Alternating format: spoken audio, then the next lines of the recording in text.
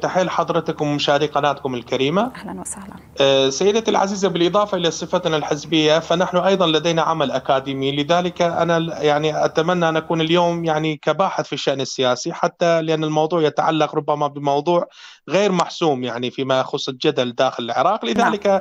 لنقل أن أنا باحث يعني فلنعتبر لأني باحث في الشأن السياسي كون هذه الصفة أظهر بها أيضا. نعم. بالفعل كما ذكرت حضرتك اللجنة العراقية المشتركة مع قوات التحالف بدأت في 27 من كانون الثاني الماضي وهناك جولة أخرى يعني في هذه الأيام. الموضوع سيدتي مشكلة الانشطار الأفقي والعمودي. يعني هذا القانون هذا القرار يتعلق بالسيادة العراقية. هناك انشطار موجود يعني لا يوجد قرار موحد وطني وهذه مشكلتنا في العراق نعاني منها أن القرارات ذات البعد الوطني والسيادة آه، يكون هناك انشطار أفقي وعمودي. وهنا أقصد أنه داخل المكون الواحد ربما وأيضا يعني كل له وجهة نظر يعني هناك وجهة نظر مختلفة. ورأينا في الجلسة التداولية التي جرت قبل يومين صحيح. وهي ربما امتداد لجلسة عام 2020 بعد حادثة المطار آه، والقرار رقم 18 الذي صدر عن البرلمان العراقي في عام في بدايات عام 2020 والداعي الحكومة بإخراج القوات الأجنبية والقوات الأمريكية آه، لذلك رأينا العدد القليل يعني حتى داخل المكون الشيعي آه، يعني لم يحضر سوى 100 نائب يعني وهذا وهم أكثر من 180 صحيح نائب. أنه كان هناك 88 من أصل 329 مع انسحاب ومقاطعة للكتل الكردية والسنية أليس كذلك؟ نعم سيدتي نعم ولكن العدد الذي ذكرت حضرتك يعني الرقم متفاوت هناك من قال 88 90 هناك من قال 100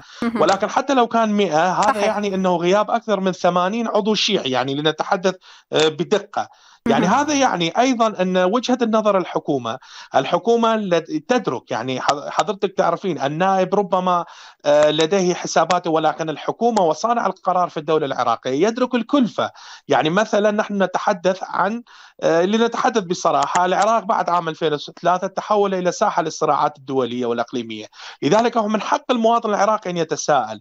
آه، هناك من يدعو إلى تقليل النفوذ الأمريكي ولكن هل يكون انسحاب الأمريكان أو النفوذ الأمريكي مقابل أن يتم ملء هذا الفراغ من القوى الإقليمية؟ يعني هل نستبدل نفوذ بنفوذ آخر؟ لماذا لا تكون نقطة التوازن والذي يعمل عليها السيد محمد شيع السوداني؟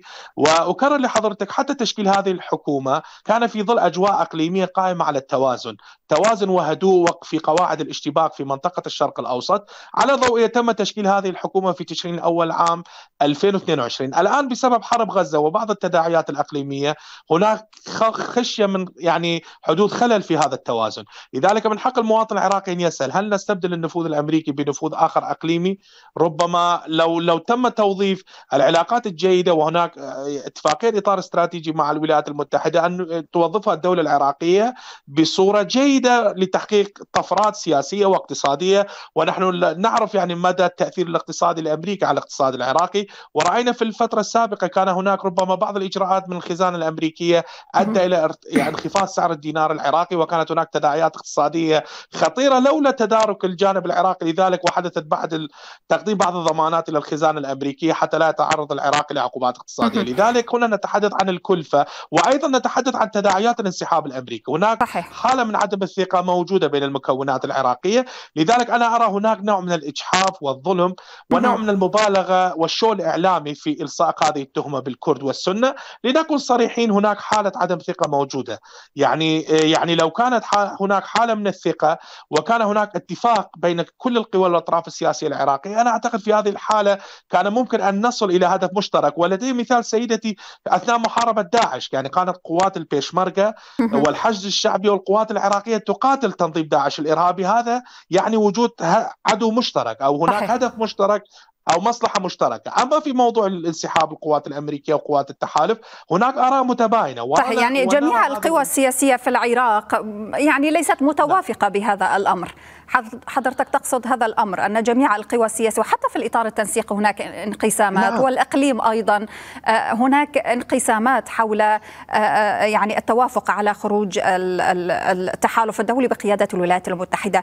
أيضا سؤال سيد أحمد يعني أنه اليوم بغداد هل تملك هناك الضمانات التي تقدمها للولايات المتحدة الأمريكية بعدم تعرض قواتها للهجوم إذا ما خرجت من العراق. هذا أيضا لأن واشنطن هناك حديث أنها فرضت شروط على بغداد مقابل الانسحاب. يعني بالفعل هذه هذه موضوع الضمانات والشروط موجودة وهناك وجهة النظر العقلانية موجودة في صانع القرار العراقي وفي الحكومة العراقية. هي تدرك وحتى وان كان هناك انسحاب يكون ضمن القنوات يعني نوع من الهدوء يعني بعيدا عن الضغط والضغط المتبادل وتحويل العراق إلى ساحة للصراعات الإقليمية الموجودة. يعني آه، الحكومة العراقية لديها هذه وجهة النظر آه، يعني العقلانية موجودة في محاولة يعني حل هذا الموضوع عن طريق الحوار.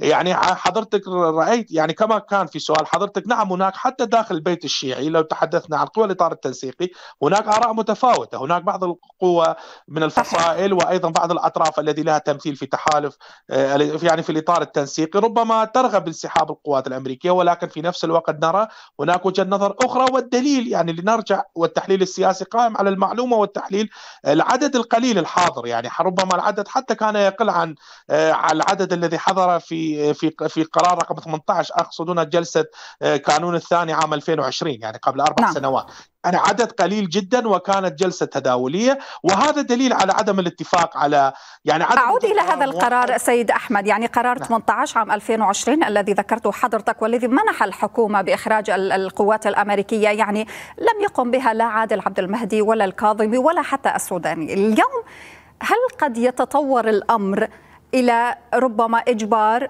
أو ضغط على الولايات المتحدة الأمريكية للخروج وهذا بالتالي له عواقب. يعني سيؤدي ربما إلى غضب أمريكي وبالتالي ربما نشهد عقوبات ما أيضا على آه، العراق.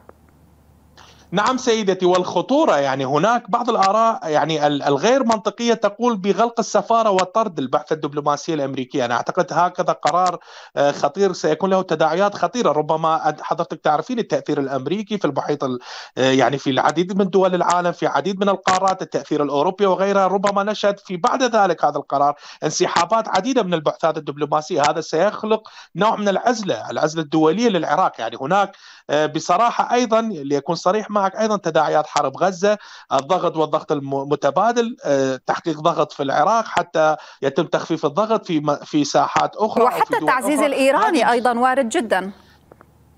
يعني أنا أنا لا أستبعد إنه النفوذ الصراع الأقليمي جاهز في هذه الجزئية، لذلك نحن نرى يعني والحكومة العراقية الآن تحاول أن أن أن تكون سياستها نوعا ما متوازنة، تأخذ بنظر الاعتبار آه، ما تدعو إليه هذه الفصائل وبعض الأطراف، في نفس الوقت أن يكون هناك قرار عقلاني ونوع من الهدوء.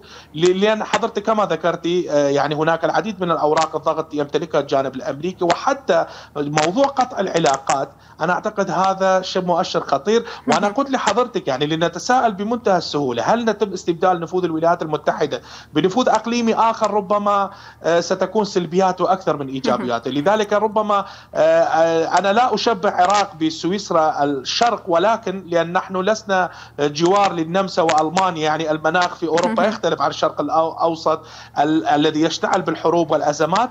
ولكن على الأقل العراق الضامن الوحيد لقوة الدور المحوري العراقي في المستقبل القريب وحاليا هو حفظ هذا التوازن التوازن صح. بين الصراعات الأقليمية والنائب في العراق باصطفاف لطرف ضد طرف آخر نعم. بخلاف ذلك سنعود نقطة للصراعات الأقليمية وحضرتك رأيتي بعد الاحتلال الأمريكي عام 2003 كيف تحول العراق إلى ساحة للصراعات الأقليمية نعم. وكان الضحية هو المواطن العراقي والدم العراقي وتراجع الاقتصاد العراقي وتبديد ثرواته لذلك وجهة النظر العقلانية موجودة لدى الأطراف العراقية وأيضا لدى الحكومة العراقية بالنهي عن العراق عن الصراعات الإقليمية الدائرة نعم. في المنطقة أشكرك جزيل الشكر لكل هذا التحليل من السليمانية أحمد الهركي قيادي في حزب الاتحاد الوطني الكردستاني.